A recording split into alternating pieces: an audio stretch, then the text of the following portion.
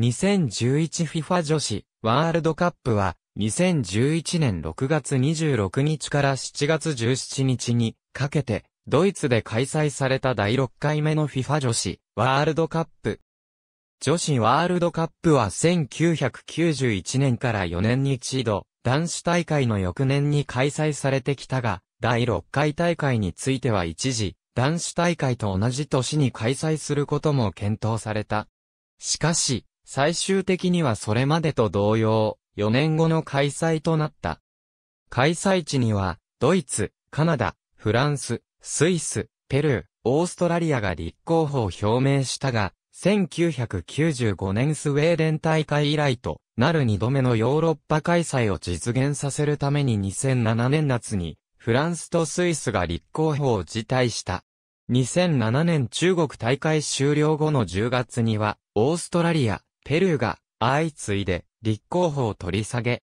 最終的にカナダとドイツの2カ国から10月30日に行われた FIFA 理事会で開催地がドイツに決定された。参加国数については、第5回大会の16カ国から20ないし24へ拡大する案があったが、大会の質が低下する懸念から却下された。2008年10月24日に大陸連盟別の出場枠が以下の通り決定された。なお FIFA は所属する国、地域の3分の1未満しか大陸予選に出場しない大陸連盟がある場合、その連盟の出場枠を見直すとしている。出場選手は 2011FIFA 女子ワールドカップ参加チームを参照。FIFA からの賞金は以下の通り。インは命名権の関係で大会期間中のみ名称を変更している会場を示す。本大会の組み合わせ抽選は2010年11月29日にドイツのフランクフルトで行われた。組み合わせ抽選の方法は以下の通り。決勝戦では日本がアメリカ合衆国に PK 戦の末勝利し、FIFA 女子ワールドカップにおける4カ国目の優勝国となっただけでなく、サッカーの世界選手権では男女を通じて初めてアジアの国が優勝国となった。ヨーロッパのチームにとっては、この大会がロンドンオリンピック女子サッカー競技の予選を除いて2を兼ねてより、準決勝に進出したフランスとスウェーデンが出場権を獲得した。なお、3連覇を狙っていた開催国ドイツは準々決勝で日本に0の1で敗れベスト8に終わり、オリンピックにおいて女子サッカー競技が始まった1996年以来史上、初めて出場を逃した。前回はグループリーグを1位で通過したチームが、すべて、準決勝に進出したものの、今回の大会では1位通過の、ドイツ、ブラジル、イングランドが準々決勝で姿を消し、準決勝に残ったのは、スウェーデン1カ国のみとなった。一方、決勝に進出した日本とアメリカは共にグループリーグ2位通過からの勝ち上がりであったが、両チームともそれぞれの大陸予選では最後の1枠の順位であり、しかも、アメリカについては、イタリアとの大陸間予選プレーオフによる出場権獲得であった。ドーピング問題6月28日、コロンビアのジネト・バロンが、ドーピング規定に違反したとして、出場停止処分を課された。後日 FIFA は、同選手に対し、2年間の出場資格停止処分を課した。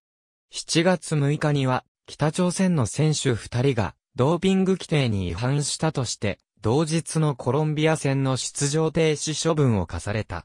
その後北朝鮮の全選手が検査を受けた結果、さらに3人の違反が判明した。後日、FIFA は北朝鮮に対して、これら5選手に1年2ヶ月から1年6ヶ月の出場資格停止処分を課したほか、北朝鮮の次回大会の出場資格を予選を含め剥奪した。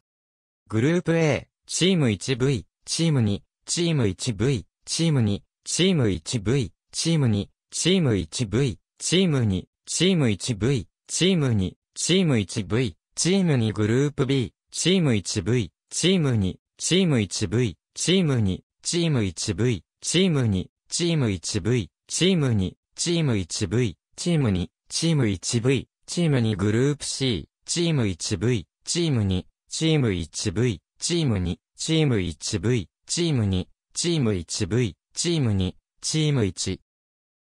チーム2、チーム 1V、チーム2グループ D、チーム 1V、チーム2、チーム 1V、チーム2、チーム 1V、チーム2、チーム 1V、チーム2、チーム 1V、チーム2、チーム 1V、チーム2準々決勝、チーム 1V、チーム2、チーム 1V、チーム2、チーム 1V、チーム2、チーム 1V、チーム2準決勝、チーム 1V、チーム2、チーム 1V、チーム2 3位決定戦、チーム 1V、チーム2決勝、チーム 1V、チーム2受賞者、受賞国は以下の通り。ドイツでは公共放送局である ARD と ZDF が全32試合を生中継した。アメリカでは ESPN、ESPN2 が全32試合を生中継した。ヨーロッパではユーロスポーツが全32試合を放送しヨーロッパの34の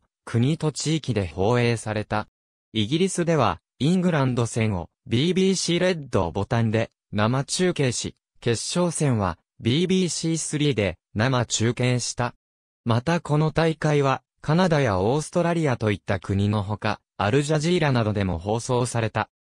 日本では NHK 及びフジテレビが放映権を獲得し、NHK は NHKBS1 にて、決勝トーナメント全試合及びグループリーグ戦にて、合計15試合前後放送予定。フジテレビは CS チャンネルである。フジテレビネクストにて、日本代表の試合を中心に放送予定であると発表した。決勝トーナメントのうち、準決勝、決勝戦のみが、フジテレビにて、地上波放送された。大会マスコットのカーラキック。ありがとうございます。